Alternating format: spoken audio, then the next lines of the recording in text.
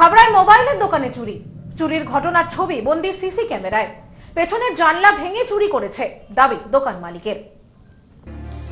দোকানের জানালা ভেঙে প্রায় আশি হাজার টাকার জিনিস চুরি করে চম্পট দিল চোর।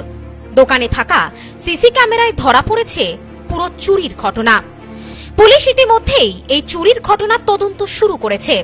ঘটনায় ব্যাপক চাঞ্চল্যের সৃষ্টি হয়েছে হাবড়া থানার হাটথুবা ঘোষপাড়া মোড় এলাকায়। গতকাল রাতে হাবড়া থানার হাটথুবা ঘোষপাড়া মোড় এলাকায় একটি মোবাইল রিপেয়ারিং এর দোকানে ঘটে এই চুরির ঘটনা। গাছ ওই ওই ছেলেটি বলতে পারবে। আচ্ছা। ওই যে যে- মানে এখানেই ছিল আর কি কাছাকাছি? কাছাকাছি এসেছিল সেখান থেকে কেটে নিয়ে এসছে এই নিম গাছ এটা। মানে এখান থেকেই কি উঠল? এখান থেকে উঠে ওই জানলা আগে ভেঙে ফেলেছে। হ্যাঁ। ভেতরে আহ, তালা যেটা ছিল সব শীতকালি কেটে ফেলেছে।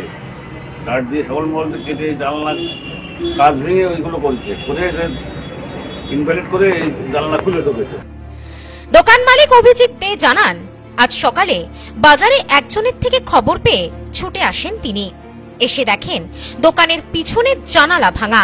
অভিজিৎ বাবু জানান, দোকানের মধ্যে একপাশে মোবাইল রিপেয়ারিং করা হতো, অন্যদিকে থাকতো নতুন মোবাইল।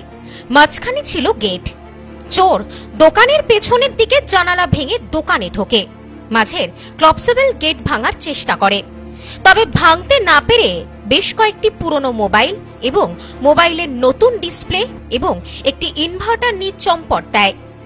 দোকানের মালিক জানান, বাজার দর অনুযায়ী সব মিলিয়ে প্রায় আশি হাজার টাকার থেকে এক লক্ষ টাকার জিনিস চুরি হয়েছে। দোকানের মালিক অভিজিৎ দে আরও জানান, তিনি হাবড়া থানায় লিখিত অভিযোগ দায়ের করেছেন। চুরির ঘটনা সিসি ক্যামেরায় ধরা পড়েছে।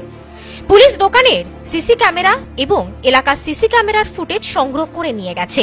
তদন্ত শুরু করেছে হাবড়া থানার পুলিশ। সকালে আমাকে এখান থেকে একটা দাদা ফোন করেছিল পাশের দোকানে। আমার ফোন করে বলল যে এরকম পিছন জানলাটা খোলা। কালকে কি খুলে রেখে গেছে না খুলে এরকম সঙ্গে সঙ্গে বাড়ি থেকে ছুটে চলে আসলাম। এসে দেখি যে পিছন জায়গায় গিয়ে দেখলাম যে ভাঙা। তালা ফালাগুলো সবই ভাঙা। তারপরে সামনে খুললাম। ভাবলাম হয়তো সামনের দিকে মোবাইলটা চুরি এরকম না, এই ক্রসিক্যাল গেটটা ভাঙতে পারিনি। চেষ্টা করেছে এখানটাই পুরো ভেঙে চলে দিয়েছে। কিন্তু ভাঙতে পারিনি তার যা নিয়েছে মোটামুটি ক্যামেরা গেছে আর ইনভার্টারটা নিয়ে গেছে। আর ঘরে আমাদের পুরনো মোবাইল ছিল প্লাস কাস্টমার যে রিপেয়ারিং করতে দেয় রিপেয়ারিং সেন্টার ছিল। এখান থেকে কিছু মোবাইল নিয়েছে।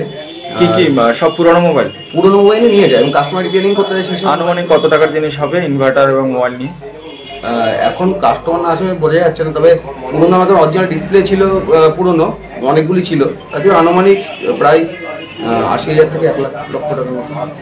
লিখিত অভিযোগ দেওয়া হয়নি এখনও জানানো হয়েছে এসছে। আমি হার্ড ডিস্কের ওইটা কপি করে দিয়ে যাব ভেবেছিলাম তার মধ্যে স্যাররা চলে এসছে। দোষী যারা এ ধরনের অসামাজিক কার্যের সঙ্গে যুক্ত তাদেরকে ধরে এ ধরনের যেন ঘটনা ভবিষ্যতে যে মাল চুরি হয়েছে যেন রিকভারি হয়। তা রিকভারি হয় এবং ভবিষ্যতে এ ধরনের bureau report news no man's land Habra new PC jewellers সম্পর্ক গড়ে দেয় বনগাঁতে আমাদের তিনটি শোরুম প্রতিদিনই খোলা নেউপিসি জুয়েলার্স বনগা বাটার মোড় new PC jewellers branch Kumudini স্কুলের বিপরীতে new PC jewellers beauty Motiganj Hatkhola